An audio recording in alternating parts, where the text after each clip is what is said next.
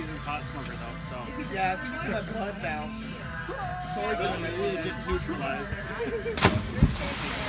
I own this. Go! What's your beer, babe?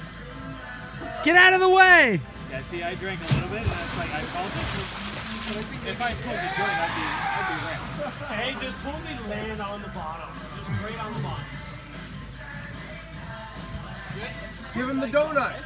This one was my safety test, so from here on out, I might do uh, a. Graham,